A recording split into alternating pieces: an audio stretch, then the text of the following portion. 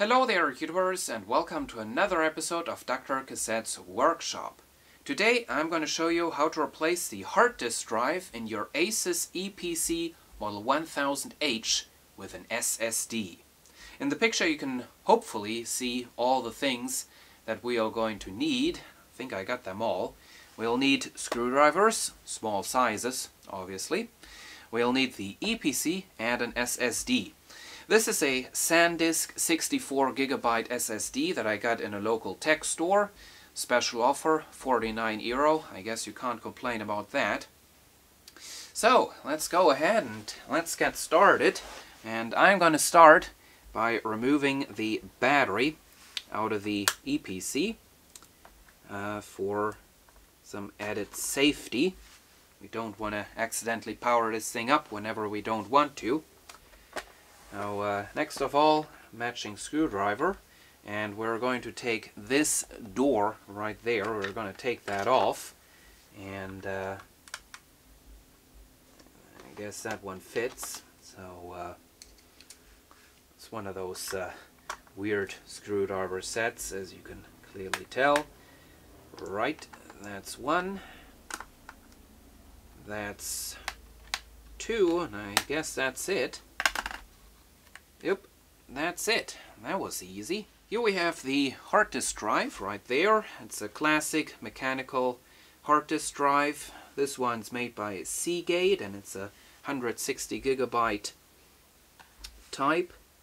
So uh, let's uh, see. Okay, there are some more screws holding that in place, so can't remove it right now. But uh, there is one screw. Don't lose them. If you lose them, your hard drive is going to fall out all the time, which is not good. Okay, now we can slide it to that direction to get it out. And there it is. And uh, don't forget to uh, store all your data to another drive before you do so, because otherwise you won't be able to access this anymore, which uh, I'd imagine is going to be rather annoying. Okay, now as you can see, the hard disk drive is sitting in this uh, kind of uh, caddy thing, so uh, we need to uh, unscrew that. And uh, that's that's going to require another screwdriver. I already changed the bit once, but it doesn't fit. Let's try this one. Okay, there we go remove the four screws of the hard disk drive.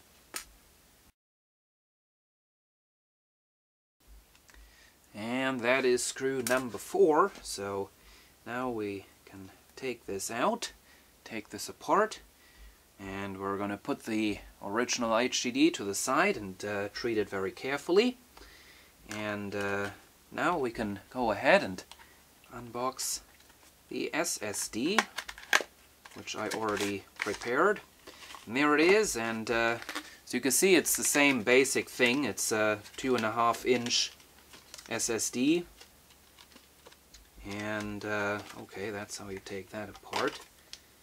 And get that opened. And there it is. Plastic housing. I guess that doesn't matter.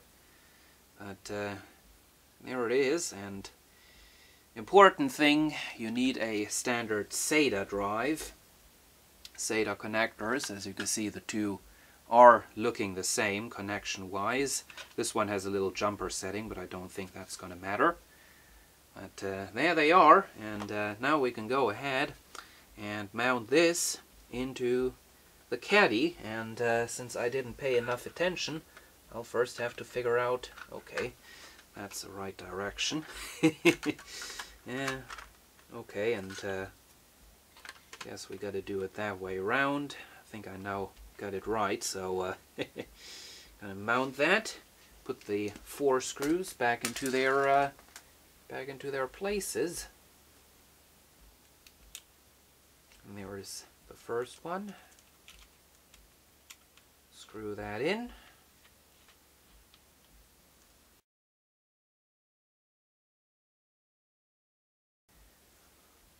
Right, and screw number four is back in its place. So now we can uh, go ahead and hopefully get this thing back into its place.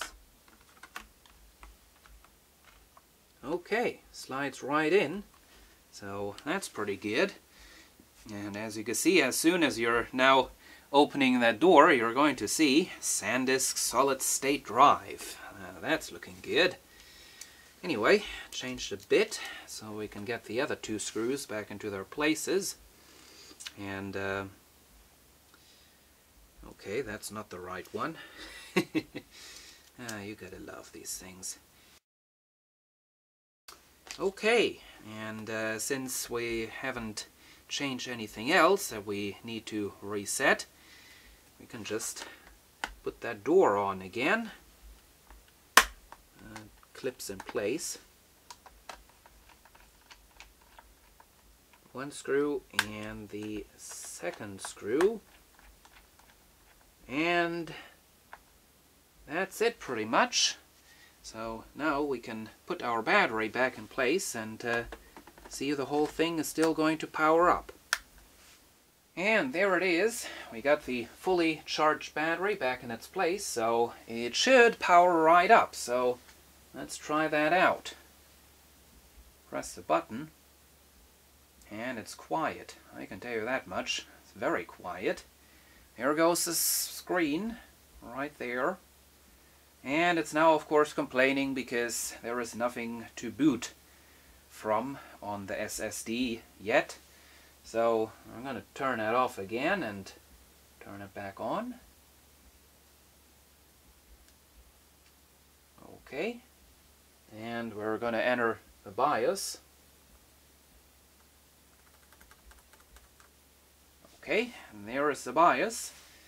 And if I now go ahead, Advanced, IDE configuration. There it is. Primary IDE master, the SanDisk SD SSD P064G. So it did detect the thing. Apparently it did detect the thing properly, so that's pretty good. So can now go ahead and put the operation system on there which is going to be the original Windows XP. And there it goes, restoring the system image from the disk that came with the laptop. Making good progress, as you can clearly see, and it doesn't seem to complain. Of course, uh, we replaced a 160 gigabyte HDD with a 64 gigabyte SSD, so that's quite a bit smaller. Doesn't matter, this is not my main computer, so I don't need all that storage space. Now the reason why I replaced the HDD in this thing um, is not so much because of the speed. Of course an SSD is a lot faster than the HDD, but uh, I did it because I wanted to uh, get rid of the HDD noise. Of course an HDD can be quite noisy.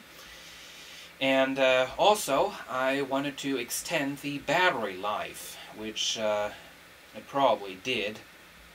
From, uh, from what I read in the internet, you can extend your battery, battery life by at least 30 minutes by replacing the HDD with an SSD.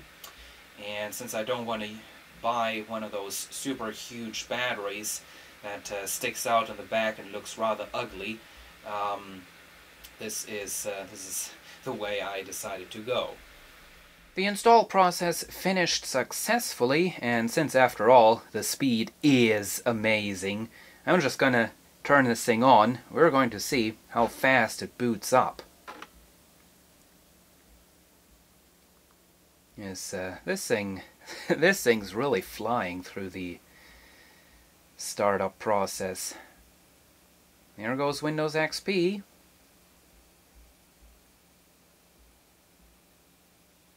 And that's that.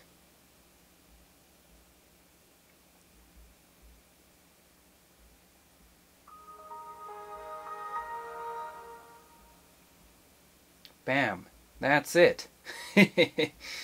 Guess that's pretty cool. That's pretty fast. So, right. Thanks for watching, and see you again soon.